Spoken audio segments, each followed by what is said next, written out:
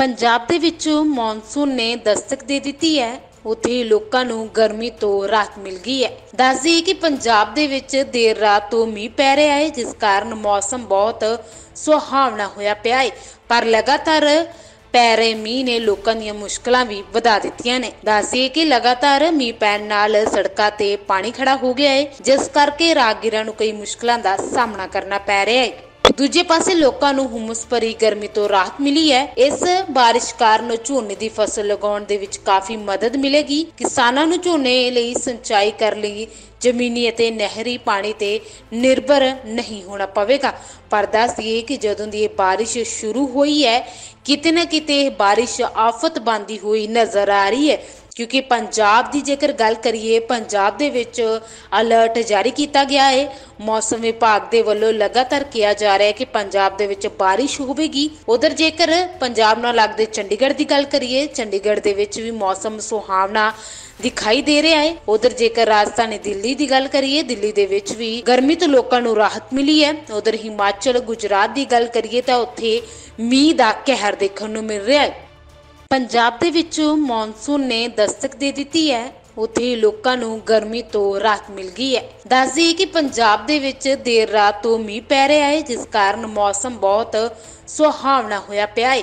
ਪਰ ਲਗਾਤਾਰ ਪੈ ਰਹੇ ਮੀਂਹ ਨੇ ਲੋਕਾਂ ਦੀਆਂ ਮੁਸ਼ਕਲਾਂ ਵੀ ਵਧਾ ਦਿੱਤੀਆਂ ਨੇ। ਦੱਸੀਏ ਕਿ ਲਗਾਤਾਰ ਮੀਂਹ ਪੈਣ ਨਾਲ ਸੜਕਾਂ ਤੇ ਪਾਣੀ ਖੜਾ ਹੋ ਗਿਆ ਹੈ, ਜਿਸ ਕਰਕੇ ਰਾਹਗੀਰਾਂ ਨੂੰ ਕਈ ਮੁਸ਼ਕਲਾਂ ਦਾ ਸਾਹਮਣਾ ਕਰਨਾ ਪੈ ਰਿਹਾ ਹੈ। ਦੂਜੇ ਪਾਸੇ ਲੋਕਾਂ ਨੂੰ ਹੁਮਸ ਭਰੀ ਗਰਮੀ ਤੋਂ ਰਾਹਤ ਮਿਲੀ ਹੈ। ਇਸ ਬਾਰਿਸ਼ ਕਾਰਨ ਝੋਨੇ ਦੀ ਫਸਲ ਲਗਾਉਣ ਦੇ ਵਿੱਚ ਕਾਫੀ ਮਦਦ ਮਿਲੇਗੀ। ਕਿਸਾਨਾਂ ਨੂੰ ਝੋਨੇ ਲਈ ਸਿੰਚਾਈ ਕਰਨ ਲਈ ਜ਼ਮੀਨੀ ਅਤੇ ਨਹਿਰੀ ਪਾਣੀ ਤੇ ਨਿਰਭਰ ਨਹੀਂ ਹੋਣਾ ਪਵੇਗਾ। ਪਰ ਦੱਸ ਦਈਏ ਕਿ ਜਦੋਂ ਦੀ ਇਹ ਬਾਰਿਸ਼ ਸ਼ੁਰੂ ਹੋਈ ਹੈ, ਕਿਤੇ ਨਾ ਕਿਤੇ ਇਹ ਬਾਰਿਸ਼ ਆਫਤ ਬੰਦੀ ਹੋਈ ਨਜ਼ਰ ਆ ਰਹੀ ਹੈ। ਕਿਉਂਕਿ ਪੰਜਾਬ ਦੀ ਜੇਕਰ ਗੱਲ ਕਰੀਏ, ਪੰਜਾਬ ਦੇ ਵਿੱਚ ਅਲਰਟ ਜਾਰੀ ਕੀਤਾ ਗਿਆ ਹੈ।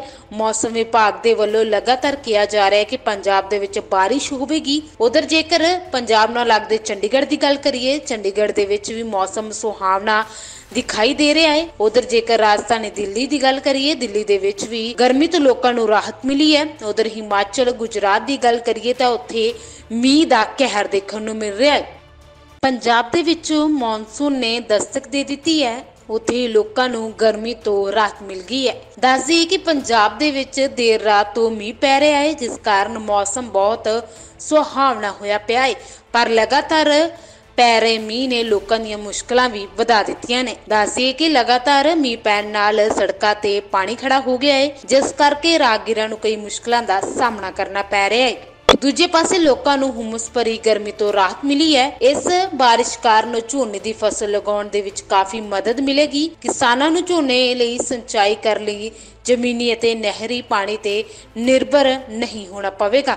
ਪਰ ਦੱਸ ਦਈਏ ਕਿ ਜਦੋਂ ਦੀ ਇਹ ਬਾਰਿਸ਼ ਸ਼ੁਰੂ ਹੋਈ ਹੈ, ਕਿਤੇ ਨਾ ਕਿਤੇ ਇਹ ਬਾਰਿਸ਼ ਆਫਤ ਬੰਦੀ ਹੋਈ ਨਜ਼ਰ ਆ ਰਹੀ ਹੈ। ਕਿਉਂਕਿ ਪੰਜਾਬ ਦੀ ਜੇਕਰ ਗੱਲ ਕਰੀਏ, ਪੰਜਾਬ ਦੇ ਵਿੱਚ ਅਲਰਟ ਜਾਰੀ ਕੀਤਾ ਗਿਆ ਹੈ। ਮੌਸਮ ਵਿਭਾਗ ਦੇ ਵੱਲੋਂ ਲਗਾਤਾਰ ਕਿਹਾ ਜਾ ਰਿਹਾ ਹੈ ਕਿ ਪੰਜਾਬ ਦੇ ਵਿੱਚ ਬਾਰਿਸ਼ ਹੋਵੇਗੀ। ਉਧਰ ਜੇਕਰ ਪੰਜਾਬ ਨਾਲ ਲੱਗਦੇ ਚੰਡੀਗੜ੍ਹ ਦੀ ਗੱਲ ਕਰੀਏ, ਚੰਡੀਗੜ੍ਹ ਦੇ ਵਿੱਚ ਵੀ ਮੌਸਮ ਸੁਹਾਵਣਾ ਦਿਖਾਈ ਦੇ ਰਿਹਾ ਹੈ। ਉਧਰ ਜੇਕਰ ਰਾਜਧਾਨੀ ਦਿੱਲੀ ਦੀ ਗੱਲ ਕਰੀਏ, ਦਿੱਲੀ ਦੇ ਵਿੱਚ ਵੀ ਗਰਮੀ ਤੋਂ ਲੋਕਾਂ ਨੂੰ ਰਾਹਤ ਮਿਲੀ ਹੈ। ਉਧਰ ਹਿਮਾਚਲ, ਗੁਜਰਾਤ ਦੀ ਗੱਲ ਕਰੀਏ ਤਾਂ ਉੱਥੇ ਮੀਂਹ ਦਾ ਕਹਿਰ ਦੇਖਣ ਨੂੰ ਮਿਲ ਰਿਹਾ ਹੈ।